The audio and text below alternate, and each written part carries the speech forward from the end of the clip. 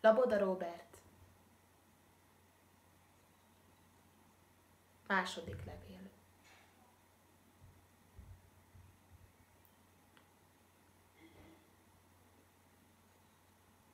Nagyapa? Napra pontosan tíz éve annak, hogy minden héten legalább egyszer letörlöm az írógépet. Ne félj, még mindig ugyanolyan félve nyúlok hozzá, mint te. Csak nekem fürgébb a kezem, ha takarításról van szó. Egy betűt sem mernék leütni vagy megtapogatni rajta. Mint az utolsó pohár bort, úgy hagytál félbe leütéseket is. Nem mertem megnézni azóta sem.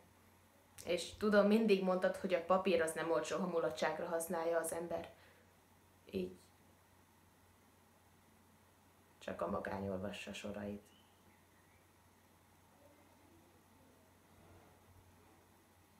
Napról napra csendesebb az írószobád. Némák a falak. Nem suttognak jövőt. Csak a gyertyalángot hallani, meg egy kicsit a karácsonyt. Azt nem bírom belakni. Ahogy évek óta a szürke gémek sem az ipolypartot, pedig ott minden és mindenki védett, talán még az ember is. Nagyapa, meg kell, hogy mondjam, megszerettem ezt a magammal levelezgetést. Szép ez így. Több együtt a perc. Te mondtad. Meg azt is, hogy az is beszélgetés, ha a csenddel játszik az ember.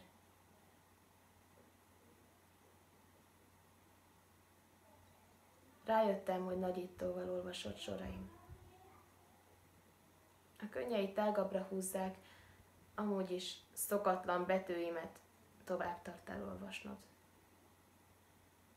És biztos az égbolt is olyan távoli köd, ahova csak érkezni tudnak a levelek, kifelé már eltévednek.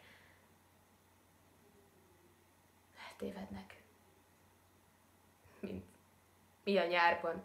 Emlékszel arra a forró júliusra, amikor bekert kortyolgattunk a diófa alatt? Ha emlékszel. És, és most az égben kitakar el téged a mama elől, hogy sutyiban megihasd, és önthess még egyet magadnak utána.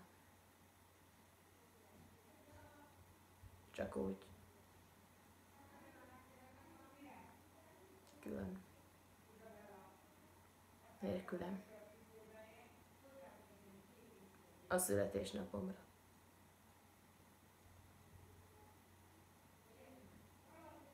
Elhallatszik-e hozzád a régi házunk radiátor súgása? Nagyapa,